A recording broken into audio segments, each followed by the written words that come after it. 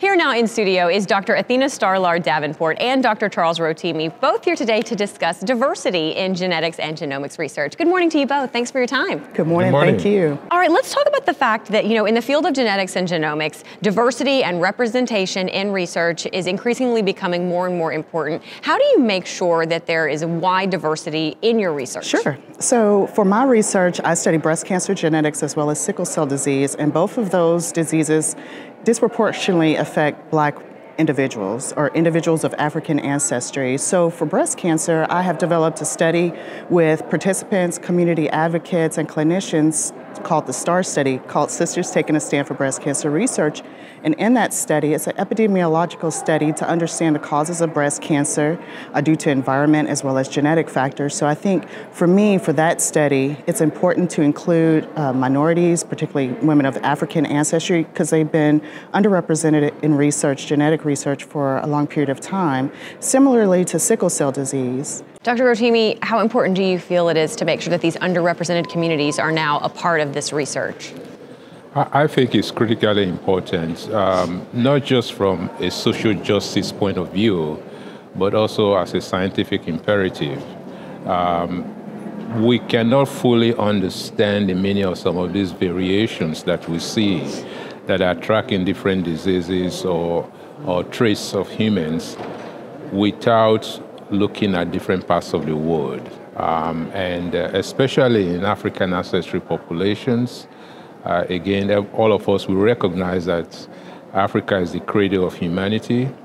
And there are things that we see in the genome of African people around the world, whether it's in Africa or in diaspora, that you really cannot study un- unless you look at those populations. Um, and so it's not just to help African ancestry populations, but it's really to help the world.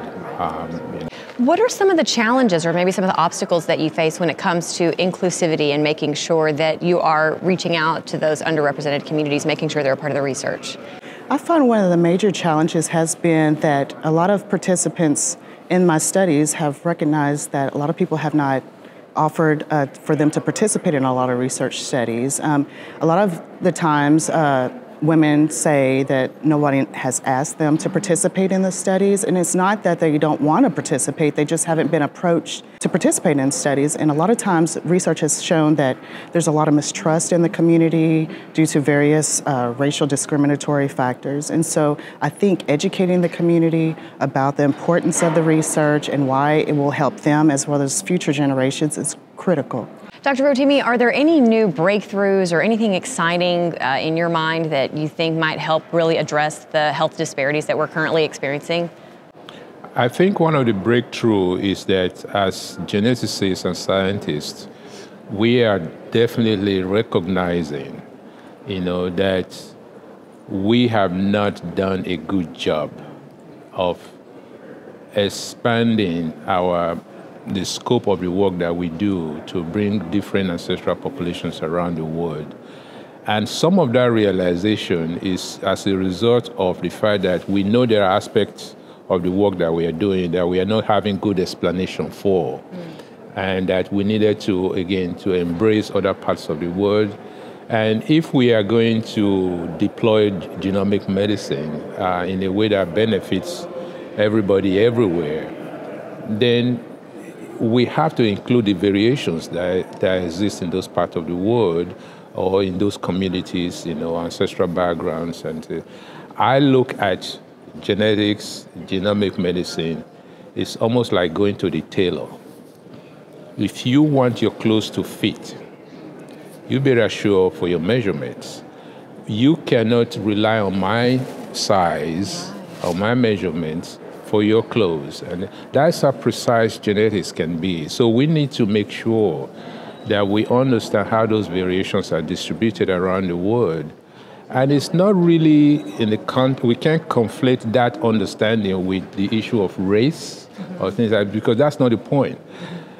We know that race is a social construct, but at the same time, uh, we know that we need to represent the distribution of the variations that exist around the world that don't necessarily track how we define ourselves socially.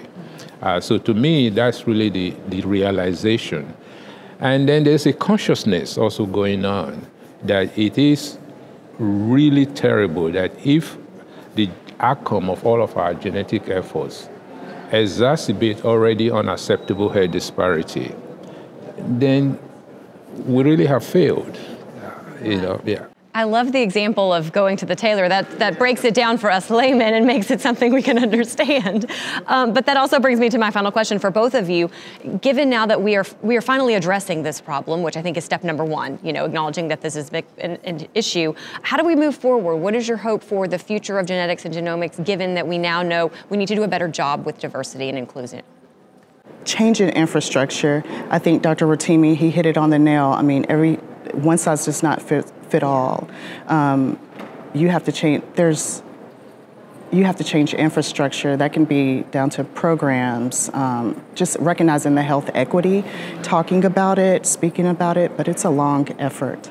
I, I absolutely agree, and I think there are very fundamental things that we can do as a society, and especially funding agencies. I say that we need to be a little more um, understanding of the reason why certain parts of the of our society, of our world, have not been fully funded, and therefore are not participating fully uh, in genomic uh, research. One of the ways that we can address this is to have targeted funding uh, to bring on board those communities and parts of the world that have not participated fully. Well, the fact that you're both here today speaking about it, hopefully that's a huge first step forward, you know, making sure people are aware. And certainly thanks to you and thank you for all of your research. Appreciate it. Thank, thank you. you very much.